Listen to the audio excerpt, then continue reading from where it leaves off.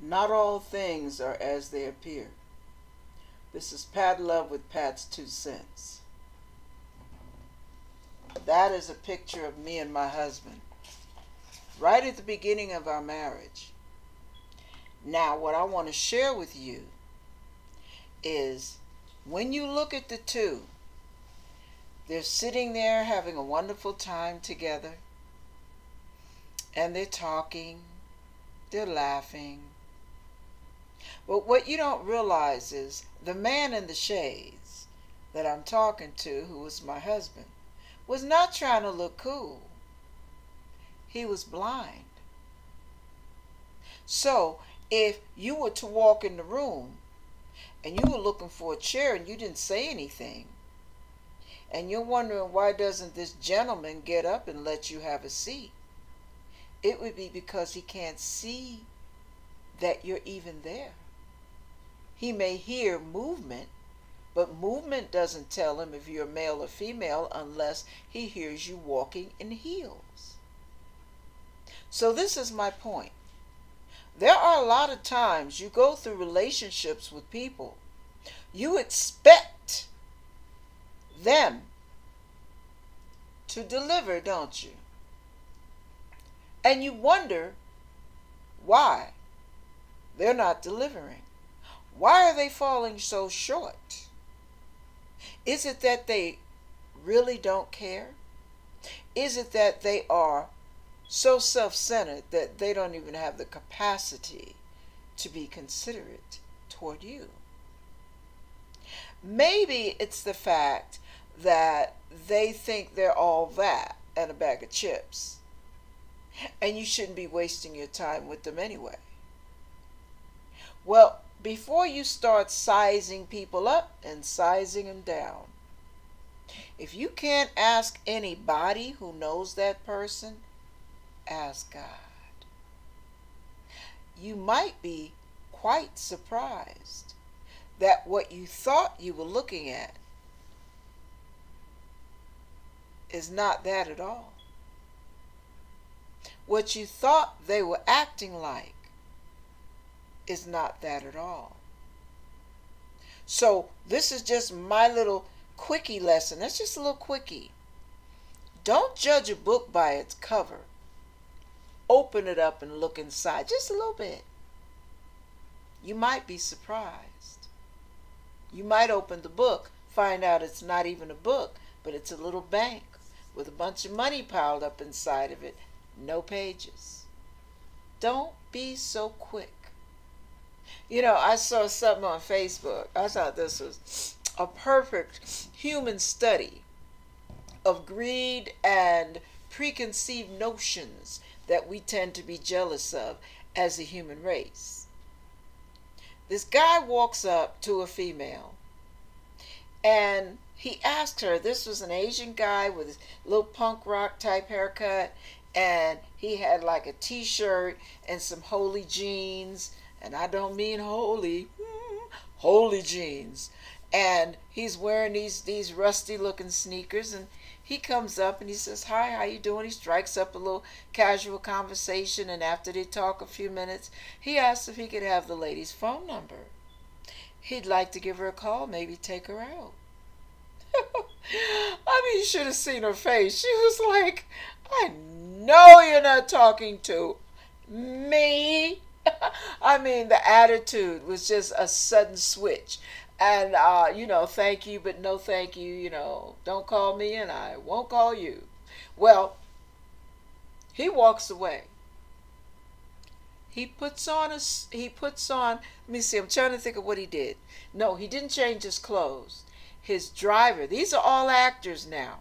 His driver pulls up in the long stretch limousine and says, uh, Sir, uh, blah, blah, blah, what time do you want me to take you to the. He names one of the most expensive restaurants that people even know about.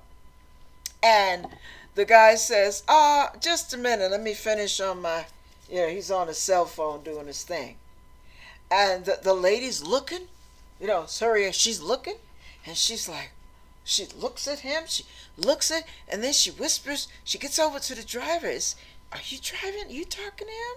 Oh, yeah, you don't know who he is, do you? Oh, man, he. Really? Oh, he just asked me out. Uh, I think I better go over. And he said, Yeah, go and talk to him. So she tips her little, she starts switching her little hips over. And, uh, hi, um, I was the one you were talking to on the bench. And he was like, oh, yeah. He's back in his phone doing his thing. Um, I, I, I wrote my phone number down if you still want it. And he said, now you want my phone number. You didn't want it before when you thought I was walking. But now you want my phone number now that you see what I got backing me up. Never mind. I don't want a money grubbing, cheap little woman that's trying to find herself a sugar daddy. You're not the one, and I ain't him. Bye. She, he said it in his own way. You know, I had to put my slant on it. What can I say?